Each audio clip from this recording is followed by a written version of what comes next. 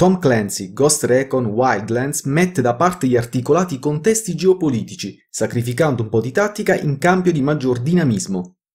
Il focus del nuovo capitolo è la guerra territoriale, che abbandona le storiche mappe lineari in favore di una moderna struttura open world. Il vantaggio di questa formula è l'avere degli scenari molto curati e su questo punto devo sottolineare che il lavoro svolto è molto buono. Ma questa formula generalmente ha anche un importante rovescio della medaglia, la ripetitività delle missioni reiterate via via nelle zone da sbloccare.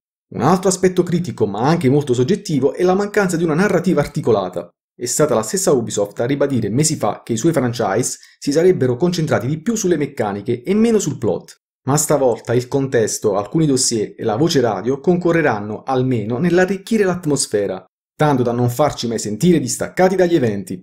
E questo è già un buon risultato.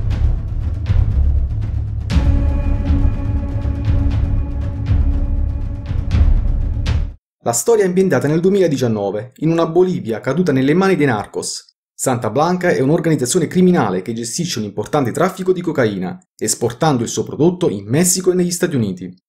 L'azienda è diventata talmente influente da mettere sul suo libro paga politici e forze dell'ordine. È di fatto il vero governo del paese, Tant'è che a contrastare il crimine organizzato ci sono i ribelli locali, che si muovono un po' come una resistenza in tempi di guerra d'indipendenza. A capo del cartello della droga c'è un fanatico spietato personaggio, che si fa chiamare il Suegno. Si considera un santo, un profeta inviato sulla terra per condurre la sua gente verso un nuovo concetto di nazione.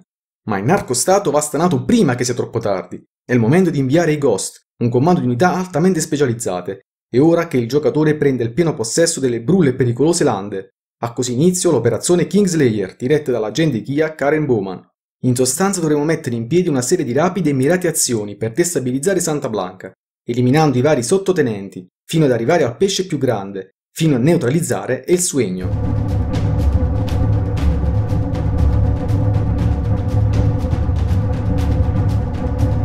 Si parte con un blando editor in cui dare forma al nostro personaggio con tratti fisici ed estetici. Si tratta di un'operazione molto veloce che non riesce a rivaleggiare con gli asset e le possibilità offerte di norma da un GDR, ma i pochi elementi consentono comunque di dare un piccolo tocco personale al nostro avatar. Una volta dato il là alla campagna si avvia la mappa e si sceglie uno dei tanti maker colorati che contraddistinguono le varie missioni. Quelli gialli fanno riferimento alle quest principali. Si parte quindi da una delle basi già sbloccate, alla guida di uno dei veicoli disponibili. Generalmente occorre intrufolarsi in una struttura protetta per raccogliere prove sull'ufficiale di zona, violare dei computer, manomettere degli impianti, estrarre i target sensibili e così via. L'esplorazione è in terza persona e consente di studiare meglio l'ampio campo di battaglia. La visuale in soggettiva, in fase di mira, esalta invece l'ottimo feeling con le armi. A dispetto della telecamera principale, tipica degli action TPS, il titolo punta più su meccaniche shooter. Oltre all'ottimo lavoro svolto sulla differenziazione dei mirini, il moveset implementa bene l'accovacciarsi e la distensione prona, è invece assente la rotolata. Se si cade in battaglia la prima volta si può essere soccorsi da un compagno, ma la seconda causa il game over e la conseguente ripetizione dell'intera missione. Il sistema di crescita prevede un albero di abilità costituito da più rami per agire su droni, armi, statistiche personali, supporto delle forze locali e gadget. I punti abilità vengono elargiti col normale avanzamento di livello, caratterizzato dai soliti punti esperienza, ma possono ulteriormente essere incrementati con il recupero di specifiche medaglie. Wildlands sa adattarsi alle varie situazioni, mutando approccio, il gioco ci spinge ad affrontare ogni singola missione in tre fasi, pianificazione, azione vera e propria e attività collaterali, ovvero il recupero di informazioni e risorse per i ribelli. Inizialmente è opportuno sfruttare le ottime meccaniche stealth. I droni e il binocolo sono strumenti tattici formidabili per studiare gli ostacoli. In seguito occorre pianificare l'intervento pratico, decidendo l'ordine delle varie mosse. Personalmente elimino prima le sentinelle col fucile di precisione, dopodiché se c'è un quadro elettrico da disattivare mi dirigo subito sul posto per danneggiare le varie strumentazioni. Per sanare in fila tutti i nemici posti tra me e l'obiettivo finale mi avvalgo di armi silenziate e del supporto dei miei compagni, grazie al colpo sincronizzato. Quest'ultima feature permette di marcare più obiettivi per poi eliminarli all'unisono. Se inizialmente vi sembrerà un'eccessiva agevolazione, avanzando nell'avventura ne apprezzerete la presenza.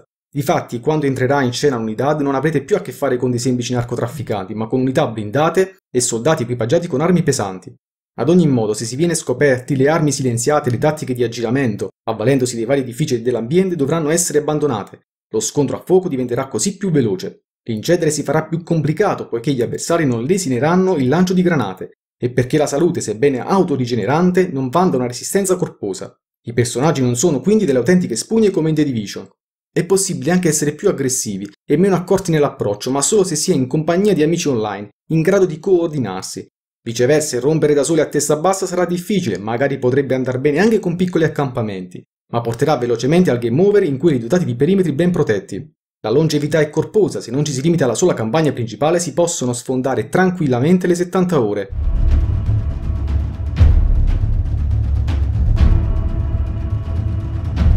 Sebbene ci si diverta più con gli amici reali, il titolo non offre una finta modalità storia. Non c'è quindi un tutorial mascherato. La struttura open world è liberamente affrontabile sia da soli, grazie all'ottima alleata, che in compagnia di giocatori in carne e ossa. L'avventura in ogni caso prende corpo dalla stessa mappa e dalle stesse missioni, quindi siete voi a decidere come volerle affrontare. I progressi ottenuti in multi saranno infatti trasferiti anche in single, Semmai l'unico cruccio è che se i quattro videogamer si trovano in punti diversi della storia, alcuni svolgeranno missioni avanzate perdendo parte del filo degli eventi. Quindi siamo in presenza di una struttura cooperativa opzionale, come in Borderlands. Non siamo costretti a giocare per forza con altre persone per via di alleate meno mate, come visto ad esempio in Resident Evil Raccoon City e nel Signore degli Anelli La Guerra del Nord.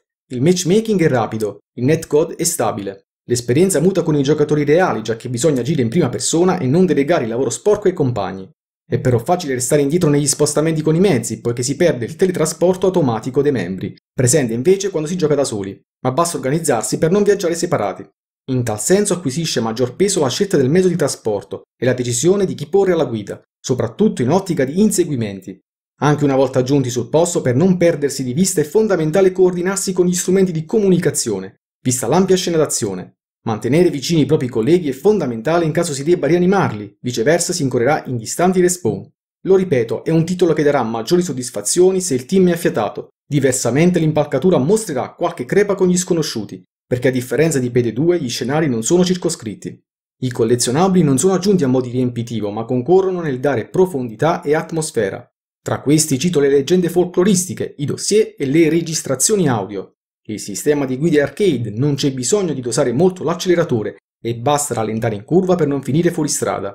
La fisica dei veicoli è permissiva, non ci sono grossi problemi con gli ostacoli naturali, ma si scalano anche alcuni dislivelli improbabili nella vita reale.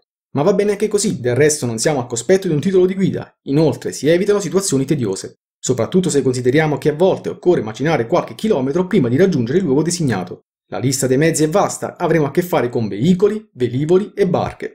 Naturalmente si può ricorrere anche agli spostamenti rapidi, sfruttando le basi già scoperte.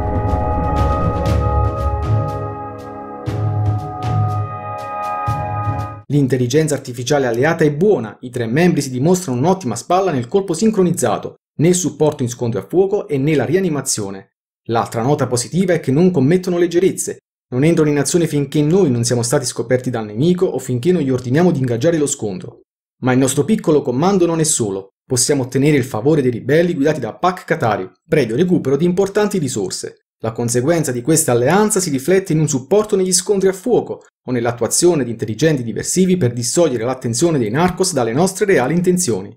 L'intelligenza artificiale avversaria è discreta ed è in linea con quanto ci si aspetterebbe in un open world.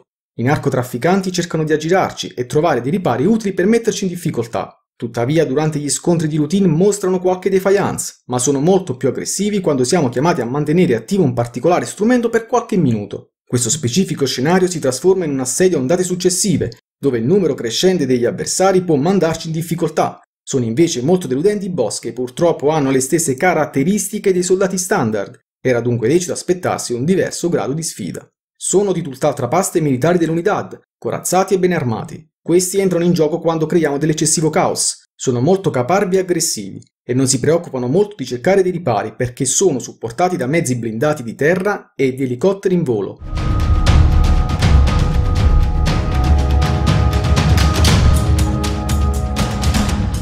La varietà dei paesaggi è ottima, ci sono piccoli borghi colorati, collinette rocciose attorniate da viuzze fangose, cime montuose e nevate, lande desertiche, giungle impenetrabili, intricati acquitrini e zone minerarie. Il ciclo circadiano e il meteo offrono differenti atmosfere rendendo il mondo di gioco più animato. Il comparto tecnico non è perfetto, c'è del pop-up sull'orizzonte, la mole poligonale non è eccezionale e il frame rate non è sempre stabile. Ma ciò che mi dà fastidio sono i continui freeze della durata di qualche secondo. Spero vengano risolti quanto prima. Non impattano nell'economia di gioco, ma sono fastidiosi. La linea d'orizzonte invece è buona e il titolo è privo di caricamenti interni tra le varie zone della mappa.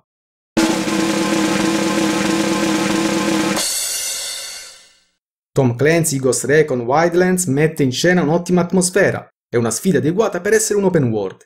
I fan dei vecchi Ghost Recon potrebbero rimanere delusi dalla componente tattica in parte sacrificata, del resto con uno scenario più ampio si moltiplicano anche le variabili, e gli ampi spazi offrono decisamente più spunti rispetto alle storiche mappe lineari.